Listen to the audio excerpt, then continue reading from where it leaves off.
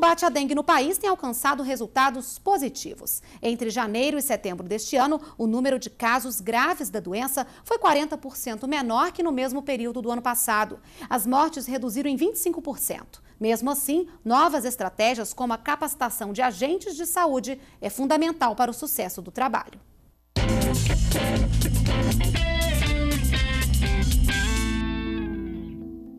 Eles são 90 mil em todo o país. Visitam as residências, verificam se existem locais que podem acumular a água onde o mosquito transmissor da dengue pode se reproduzir e ensinam os moradores a manter o Aedes aegypti longe de casa. De acordo com a realização da inspeção, eles aproveitam para tratar alguns criadouros que não podem ser removidos, ou seja, eles não podem ser destruídos.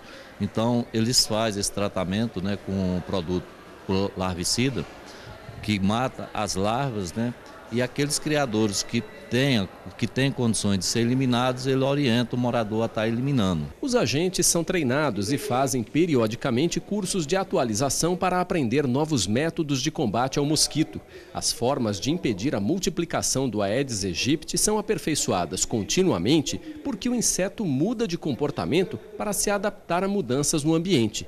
Por exemplo, o vetor era encontrado em água limpa. Hoje a gente encontra em água parada, em água no chão, na lama.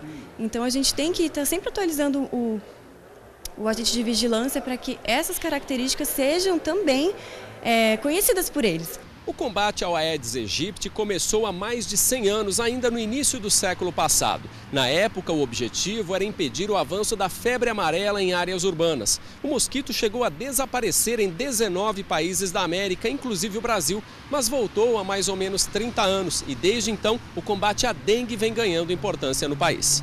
De acordo com o Plano de Ação contra a Dengue do Ministério da Saúde, este ano, 989 municípios vão receber incentivos financeiros para melhorar as ações de prevenção e controle da doença e para monitorar a situação epidemiológica pelas redes sociais. O governo estima que mais de 100 milhões de pessoas serão beneficiadas. O coordenador-geral do Programa Nacional de Combate à Dengue do Ministério da Saúde, Giovannini Evelin Coelho, explica que um grande obstáculo no combate à dengue está na estrutura das cidades.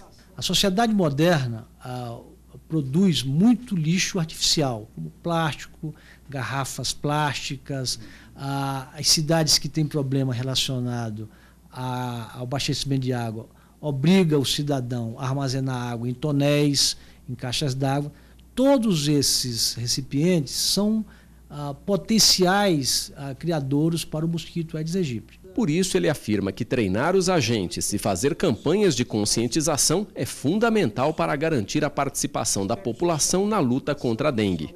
Mesmo com, ah, com os resultados que a gente tem de baixa adesão da população, é fundamental que essas ah, campanhas sejam ah, intensificadas e que constantemente se, alerte a população sobre os riscos e sobre as medidas de prevenção que a população deve adotar.